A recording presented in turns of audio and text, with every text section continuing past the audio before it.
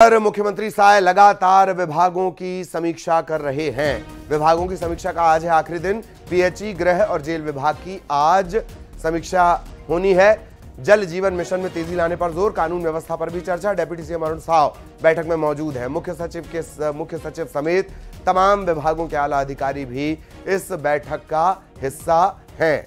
CM Sai लगातार विभागों की समीक्षा कर रहे हैं। आज इसका आखिरी दिन है। पीएचई, गृह, जेल बेहद महत्वपूर्ण गृह विभाग।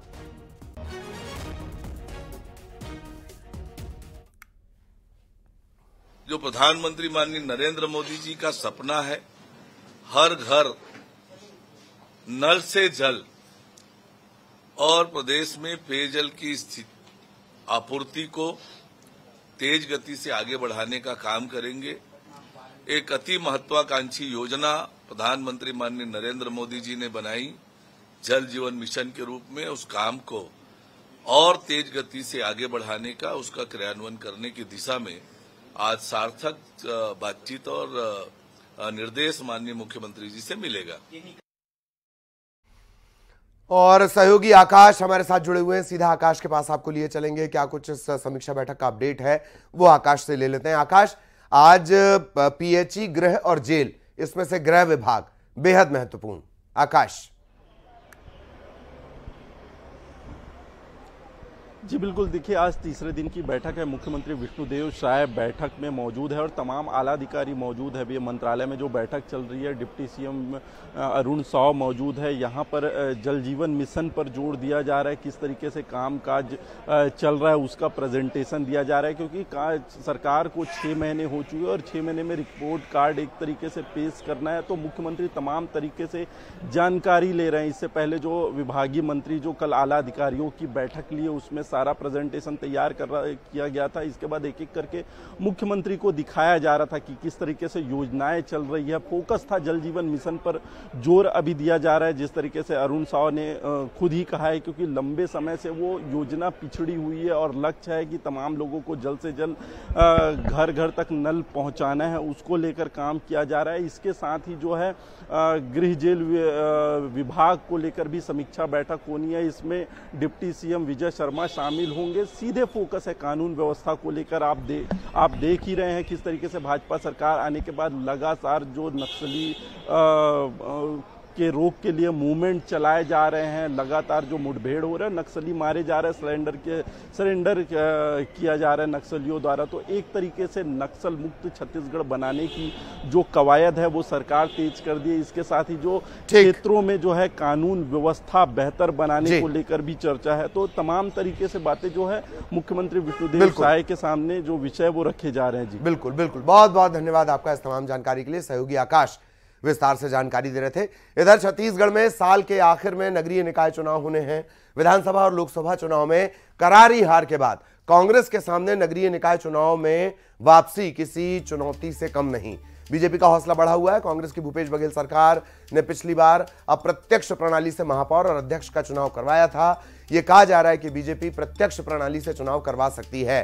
बीजेपी यह भी दावा कर रही है कि विधानसभा और लोकसभा चुनाव की तरह नगरीय निकाय के चुनाव में भी पार्टी बड़ी जीत दर्ज करेगी। कांग्रेस का कहना है कि पार्टी मजबूती से चुनाव लड़ेगी।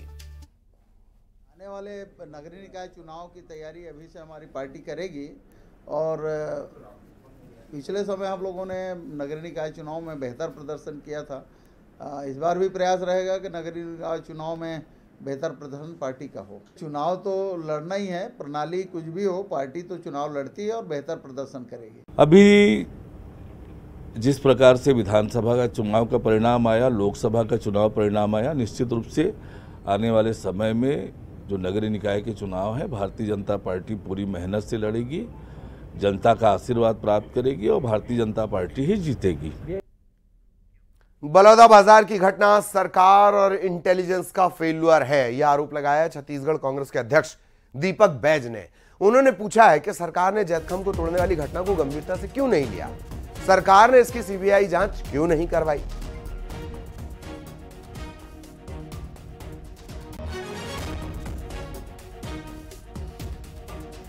बलौदा बाज़ार की घटना एक बड़ा फेलुअर है। जैतखम की घटना को गंभीरता से क्यों नहीं लिया गया? ये पूरा घटनाक्रम जो शुरू हुआ, वो जैतखम टूटने को लेकर ही हुआ। उसके बाद आंदोलन वाले दिन तक तकरीबन 20 दिन का फासला था।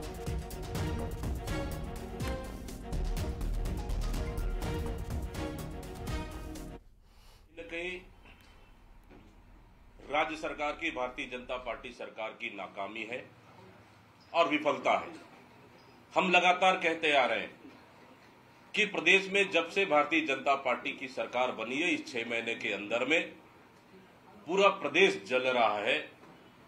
सरकार प्रदेश को संभाल नहीं पा रही है।